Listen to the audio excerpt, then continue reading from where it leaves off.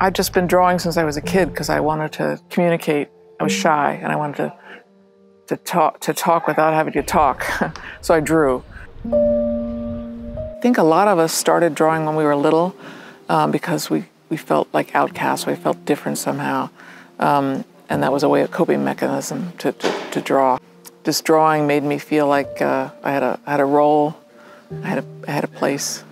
What I see about InspireFest is a community of innovative thinkers and creative people working together or exchanging ideas. And um, technology is, is relatively new, right? Our art and creativity has been around for eons.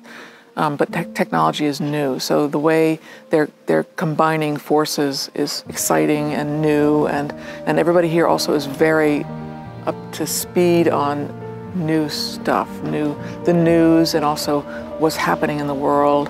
And when I speak here, I feel like I'm, even though there may be people from lots of different countries in the audience, I feel that I'm going to be talking to people that understand what I'm saying. When I first came here, I didn't know what to expect of Dublin or the Docklands, but uh, the, the Docklands are a nice contrast to some of old Dublin, and I think they work well together. Even though it's very angular in the Docklands, it's still very human. I mean, there's lots of people look out the window um, from your room and you see you see the beautiful angular spaces, the water, and then people just using that open area, walking and biking. And then I saw some paddle boarders on the water today.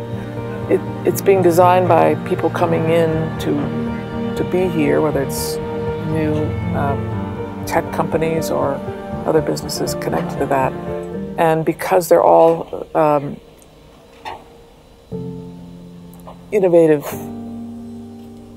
organizations or groups, then they, they think the same, they think similar ways about how to use the space.